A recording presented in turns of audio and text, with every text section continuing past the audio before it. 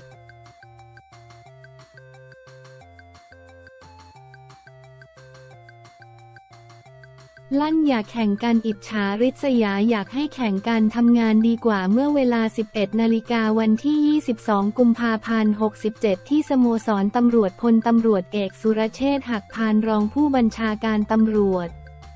แถลงชี้แจงกรณีตกเป็นผู้ถูกกล่าวหา คดีที่พบความเชื่อมโยงไปยังกลุ่มบัญชีม้าเครือข่ายเว็บพนันของมินนี่ ซึ่งตำรวจบกปปปร้องทุกต่อปปชในข้อหาตามกฎหมายอาญามาตรา 157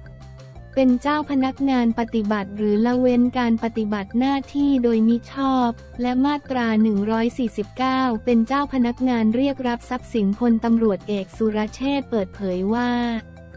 เรื่องนี้ต้องเริ่มจากคดีแรกที่มีตำรวจมาตรวจค้นบ้านตนเอง โดยปกปิดข้อเท็จจริงในชั้นศาล เนื่องจากไม่ระบุในหมายค้นว่าเป็นบ้านตน มีเพียงบ้านเลขที่ซึ่งศาลต้องตรวจสอบก่อนไม่ใช่ออกหมายค้นง่าย ๆ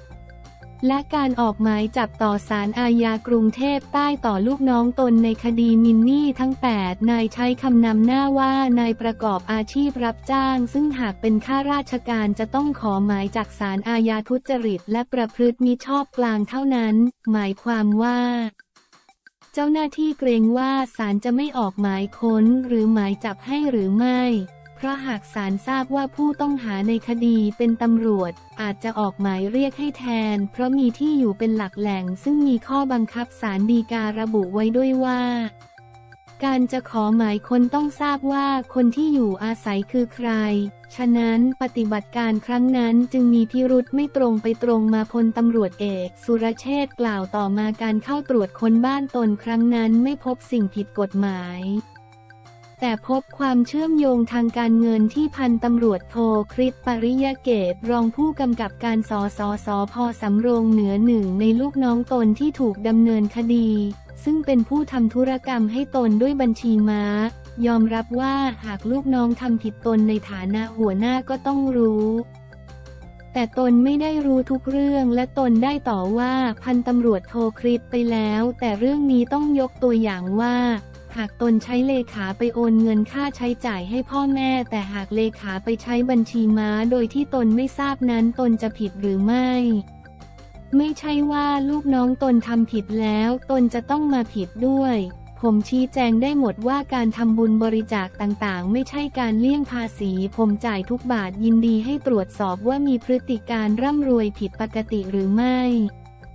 พร้อมยืนยันว่าไม่มีเส้นทางการเงินจากเว็บพนันใดที่เข้าและออกจากผม มีแต่ที่ไปจับกลุ่มเท่านั้น ส่วนที่มีการระบุว่าเส้นเงินอาจเกี่ยวเนื่องไปถึงญาติใกล้ชิด ก็ยินดีให้เชิญแม่มาสอบปากคำได้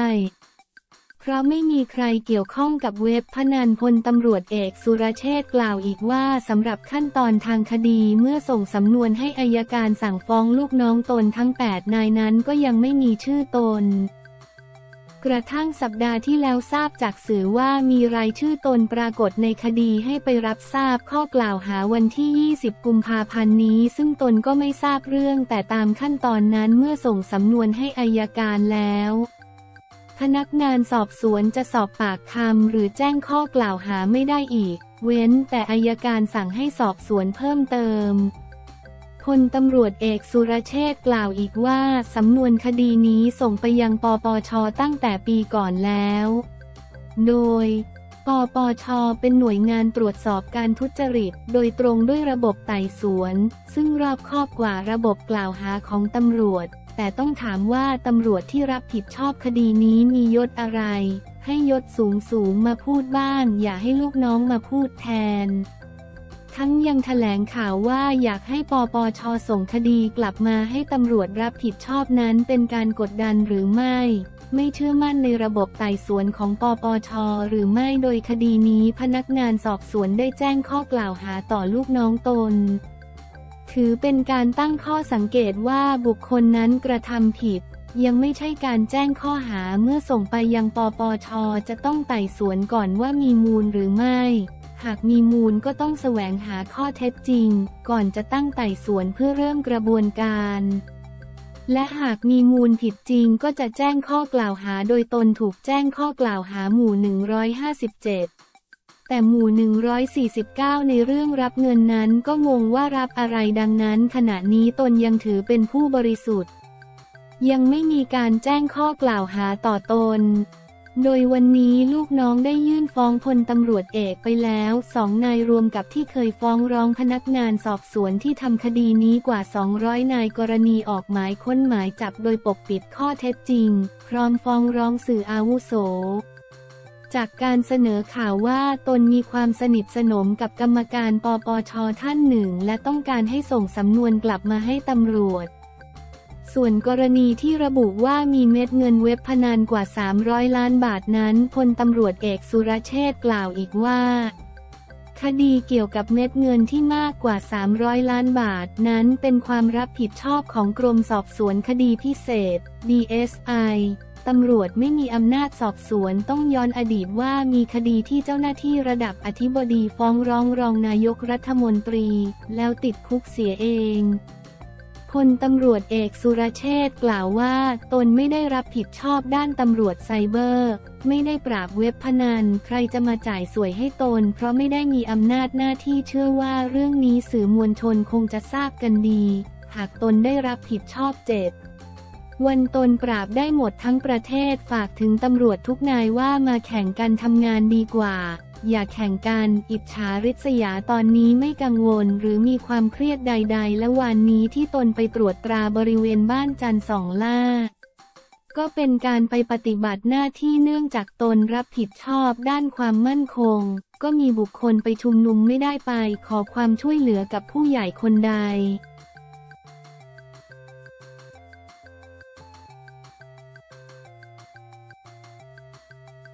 เน็ตไอดอลแจ้ง ไซเบอร์เอาผิดอดีตแฟนหนุ่มปล่อยคลิปลับว่อนโซเชียลเน็ตไอดอลสาวชื่อดังคนตามกว่า 2 ล้านแจ้ง ไซเบอร์เอาผิดอดีตแฟนหนุ่มปล่อยคลิปลับว่อนโซเชียลเผยมีพฤติกรรมชอบถ่ายคลิปลับข่มขู่อ้างไม่รู้เรื่องลบหมดแล้วเมื่อเวลา 13 นาฬิกา 30 นาที วันที่ 21 กุมภาพันธ์ 67 ที่กองบัญชาการตำรวจสืบสวนสอบสวนอาชญากรรมทางเทคโนโลยี หรือบชสอท เมืองทองธานีจังหวัดนนทบุรี ทีมงานเพจสายไหมต้องรอดพาน สอ เอนามสมมุติ หรืออายุ 30 ปี อดีตนักแข่งรถและเน็ตไอดอลชื่อดังที่มีผู้ติดตามทางโซเชียลกว่า 2 ล้านคนเข้าแจ้งความดำเนินคดีกับผู้ไม่หวังดี แอบนำคลิปวิดีโอขณะร่วมหลับนอนกับอดีตแฟนหนุ่ม ไปปล่อยลงโซเชียลนอ สเอผู้เสียหายเล่าว่าตนเริ่มคบหากับอดีตแฟนตั้งแต่ปี 2565 โดยคบหากันได้ 3-4 เดือน โดยตลอดระยะเวลาที่คบหากันนั้น ฝ่ายชายมักจะมีรสนิยมชอบถ่ายคลิปขณะร่วมหลับนอน ซึ่งเธอก็ทำข้อตกลงไว้ว่า หลังจากร่วมหลับนอนเสร็จก็ขอให้ลบคลิปดังกล่าวไป ต่อมาจับได้ว่าฝ่ายชายมีแอบคุยกับหญิงอื่นหลายคน และมีพฤติกรรมที่ค่อนข้างเจ้าชู้ จึงเลิกรากันไปกระทั่งเดือนพฤษภาคม 2566 ตนกับอดีตแฟนมีโอกาสกลับมาเจอกันอีกครั้ง ซึ่งอดีตแฟนก็แซวเชิงข่มขู่ว่าจะเผยแพร่คลิปดังกล่าวทำให้ตนรู้สึกตกใจ เพราะฝ่ายชายเคยบอกว่าลบไปหมดแล้ว จนกระทั่งเดือนพฤศจิกายน 2566 มารู้เรื่องจากแฟนคลับว่ามีคลิปวิดีโอขณะที่เธอร่วมหลับนอนกับอดีตแฟน หลุดออกมาทางโลก ออนไลน์ตนจึงรีบสอบถามไปยังฝ่ายชาย ซึ่งฝ่ายชายเขาตอบกลับมาว่าไม่รู้เรื่อง และไม่ได้เป็นคนเผยแพร่จากนั้น เธอจึงแจ้งความไว้ที่สพเมืองสระบุรีเมื่อวันที่ 2 พฤศจิกายน 2566 กระทั่งกลับมาอยู่บ้านที่สุพรรณบุรี ก็มารู้ว่ามีคลิปออกมาอีกและแจ้งความครั้งที่สองที่สพเมืองสุพรรณบุรี เมื่อวันที่ 21 มกราคมที่ผ่านมา โดยขณะนี้คดีความยังคงไม่มีความคืบหน้าอะไร จึงมาร้องขอความช่วยเหลือกับเพจสายไหมต้องรอด ให้ติดตามความคืบหน้าคดี และต้องการแจ้งความเอาผิดกับบุคคลที่มาแสดงความคิดเห็นจนทำให้เธอเสียหายเพิ่มเติมอีกด้วย นายนิรันดร์เกงแงวผู้ร่วมก่อตั้งเพจสายไหมต้องรอด เปิดเผยว่าสอท0.2 ต้องตรวจสอบว่า บุคคลใดเป็นคนเผยแพร่คลิปวิดีโอดังกล่าว ซึ่งที่พาผู้เสียหายมาแจ้งความเพิ่มเติมกับตำรวจไซเบอร์ในวันนี้นั้น เนื่องจากเชื่อมั่นในประสิทธิภาพ และศักยภาพของตำรวจไซเบอร์ ซึ่งการกระทำดังกล่าวถือว่ามีความผิดเกี่ยวกับพรบคอมพิวเตอร์